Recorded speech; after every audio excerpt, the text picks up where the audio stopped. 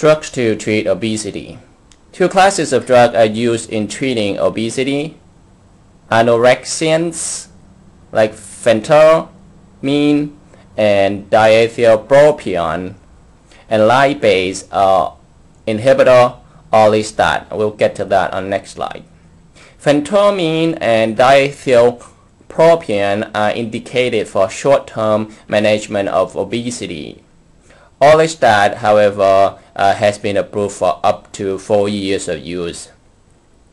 Phentermine exerts its pharmacological action by increasing release of norepinephrine and dopamine from the nerve terminals and by inhibiting reuptake of these neurotransmitters, thereby increasing the level of neurotransmitter in the brain.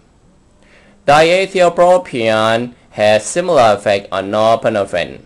Concomitant use of appetite suppressant and monoamine oxidase inhibitor should uh, be avoided. Lipase inhibitor orlistat, also known as Alli or Alli, uh, has been uh, approved for up to four years of use. Orlistat is the first drug in a class of anti-obesity drug known as lipase inhibitors. Orlistat is a pentanoic acid ester that inhibits gastric and pancreatic lipases, thus decreasing the breakdown of dietary fat into smaller molecules that can be absorbed. It interferes with absorption of fat-soluble vitamins and beta-carotene.